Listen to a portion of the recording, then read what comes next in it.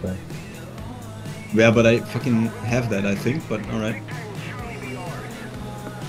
Uh, yeah, so for Israel, you're going with the Sabra. That shit looks fun as fuck. 9.7, right? 9.7? 9.7. And you get fucking M322 with almost 600 pen. Oh, okay. Ah, nice. Okay. Yeah, that shit is gonna be so fucking. Okay. And it's rank 2 as well, like holy shit.